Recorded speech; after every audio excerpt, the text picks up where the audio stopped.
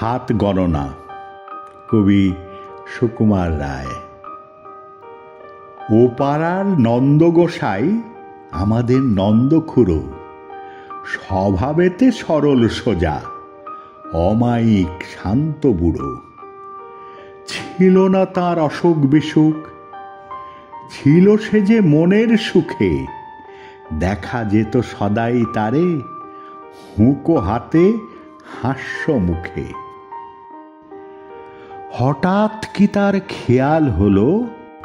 চলল সে তার হাত দেখাতে। ফিরে এলো শুকনো সরু, ঠকাঠক কাঁপছে দাঁতে। সুধালে সে কয় না কথা, আকাশেতে রয় সেচে। মাঝে মাঝে শিউরে ওঠে, পরে জল চক্ষু বেয়ে শুনে লোকে দৌড়ে এলো, ছুটে এলেন বদ্যিমশায় সবাই বলে, কাঁদছ কেন? কি হয়েছে নন্দগোসাই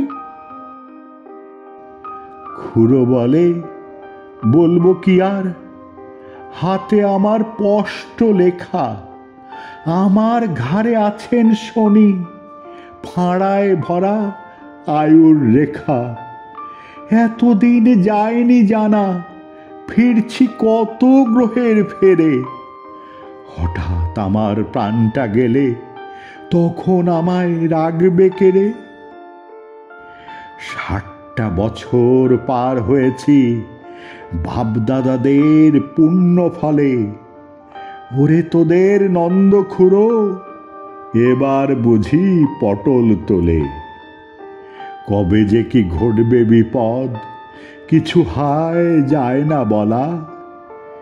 এই বলে সে উঠল কেঁদে, ছেড়ে ভীষণ উচ্চ গলা। দেখে এলাম আজ সকালে গিয়ে ওদের পাড়ার মুখ। বুড়ো আছে, নেই কো হাসি, হাতে তার নেই কো হুকো